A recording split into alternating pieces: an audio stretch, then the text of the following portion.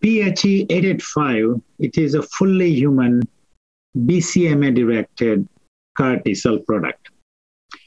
Now, uniqueness about this product is that it uses this T-charge platform where the CAR T product is produced in less than two days. So instead of currently required three to four weeks, at least two plus weeks, this can be produced in a very short time of two days.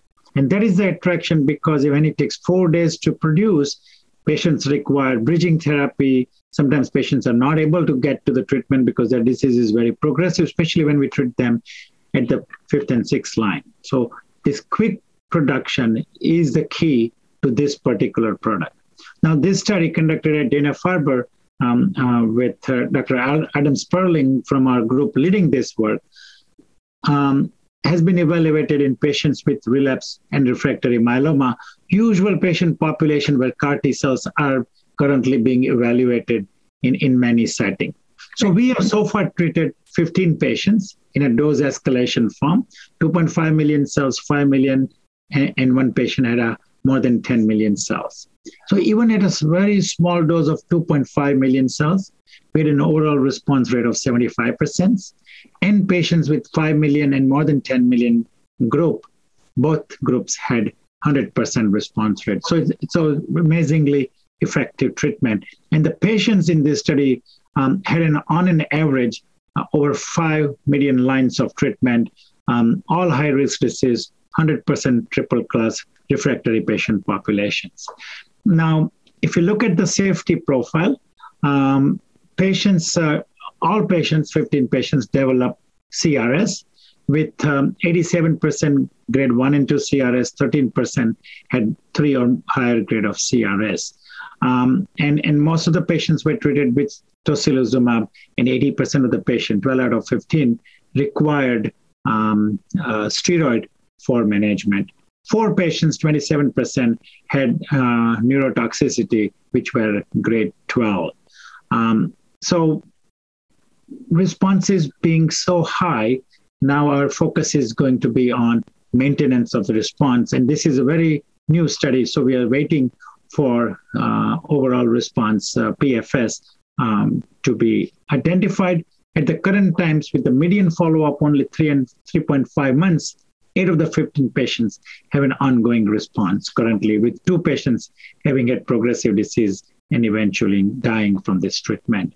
Um, very importantly, the way these cells are produced with a short um, short time, we find that the CRS is very predictable, happens uh, around day uh, median of day 14, uh, which is when maximum expansion happens.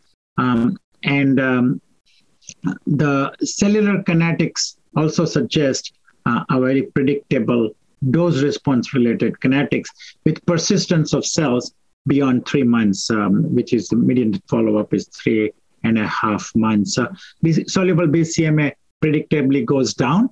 Um, and uh, if we look at the, the CRS timing, which uh, I was about to mention, um, it also has a dose response relationship that the higher dose CRS happens um, slightly early. And the dose, uh, overall dose is very small, anywhere from 2.5 to 5 million cells. Uh, very importantly, if you look at the cell, uh, phenotype of the cell, they are shifted towards naive to T stem cell like cells, um, and which is observed um, following infusion on day 11 to day 28. And so, in, in patients who are um, uh, uh, treated with this product, um, they become more stem cell like uh, with both CD4 and CD8 component.